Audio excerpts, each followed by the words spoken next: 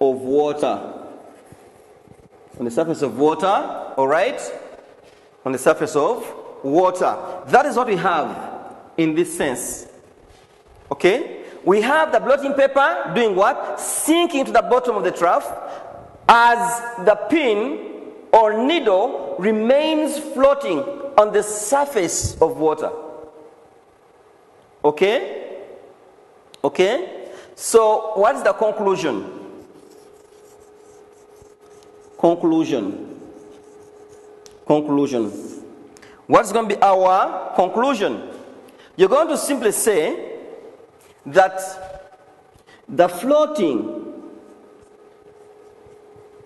the floating pin or needle shows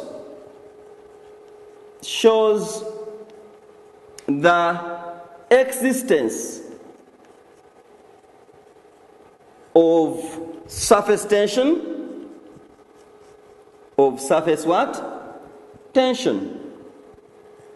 Period. You could also, you could also say that the pin floats due to the existence of surface tension. You also can be marked correctly. Here we are saying that the floating pin shows the existence of surface tension all right? So what are you saying? Oh okay then. The, the letter s is not clear? Fine. We can change it here. No problem. We can say shows. Like that. Is that what you wanted? Thank you. So we have the floating pin shows the existence of surface tension.